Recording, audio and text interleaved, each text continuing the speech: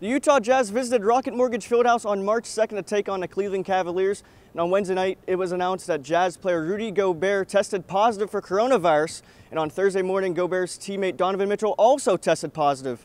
While none of the MAC staffers were in contact with the Utah Jazz, MAC Commissioner Jon Steinbrecher talked about how this factored into the decision to cancel the MAC tournament in Cleveland. First thing we did was, um, okay, where where would players have been, participants have been?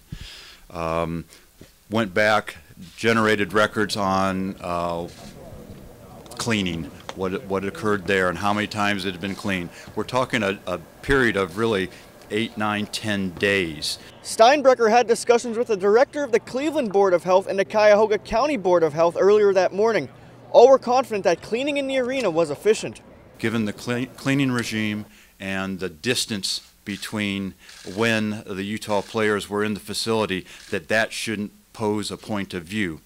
Uh, we had made the decision that if we would have moved forward, we were going to close down that locker room and not utilize it anymore, even though we didn't believe there was a risk posed by that. Uh, then we had been begun discussion discussing implementing perhaps uh, further uh, protocols, medical protocols, screening protocols with our student athletes, and we're in the we're discussing that as we ultimately came to a decision.